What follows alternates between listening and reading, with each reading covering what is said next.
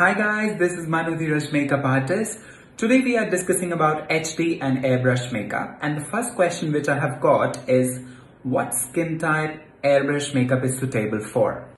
If you have got really good hydrated skin, I would say airbrush makeup is going to do wonders for your face. It's gonna look flawless and really amazing. To make it more simpler, I would say if you do not have dry skin, it is perfect for you and you can definitely offer the airbrush makeup. For women whose skin type ranges from normal to combination skin, it is perfect and definitely a good choice to go for the airbrush makeup. Alright, so my next question is, is HD makeup more durable than the airbrush makeup? Okay, if I talk about the durability of the makeup compared to airbrush makeup, it totally depends upon which HD foundation you are using. It totally depends upon the brand you are using because there are so many brands in the market nowadays wherein you get the foundation which are waterproof and the best part about them is they last for more than 18 hours. So it totally depends upon the kind of a quality of the product you are using. So, but yes, with my backstage experience, I can definitely say that HD makeup generally lasts for more than 8 to 10 hours because backstage when we do makeup for the models, we start doing their makeup at around 2 p.m. and then the show starts at 10 o'clock. It definitely stays intact. Alright, let's move on to our next question which says, is airbrush makeup suitable for the summer brides? Okay, well, first of all, thankfully we are in summers now and I'm really super duper excited. We are going to get to see some amazing summer weddings. But yes, due to current situation, it's postponed and got delayed. But yes, soon we are going to experience those amazing summer weddings.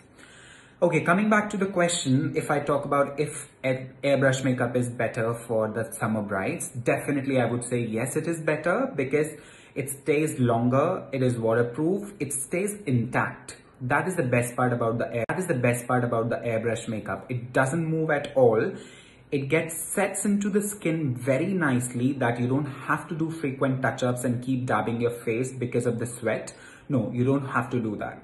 It nicely sets into the skin and looks flawless and amazing. So definitely it would be a good choice that if you go for a airbrush makeup for the summer weddings. Okay, so my next question is which makeup is more suitable for the day weddings, HD or airbrush makeup? Okay, so if I talk about the makeup which is more suitable for the day wedding, it totally depends upon your skin type and the kind of a preference you have for makeup. As I earlier said, airbrush makeup looks amazingly nice on people who have got hydrated skin and skin ranging from normal to the combination skin. But for people who have got dry skin, I would definitely not prefer to do airbrush makeup for that skin type because it ends up looking flaky, which generally doesn't look nice because makeup is just not about looking good in the pictures but there will be thousands of people when you become bride there will be thousands of people who will be meeting you in reality seeing your face in real so your makeup should be flawless and it should look amazing in the reality also. If we talk about the HD makeup, the best part about the HD makeup is that there are so many foundations which you get in the HD range, which are there in the market for the oily skin, which are there for the combination skin, which are there for the dry skin. And they all have their benefits for all skin types. So that is the best part about the HD makeup. So it depends what skin type you have and then you can definitely choose the uh, makeup you want whether you want the HD or you want the airbrush makeup.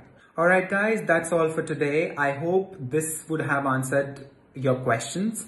And uh, I hope that this will make it easier for you to understand and choose the right makeup for you. But yes, still I would say before choosing the right makeup for you, when you book your makeup artist, please have a discussion with them regarding what you can go for for your skin type and they will be the best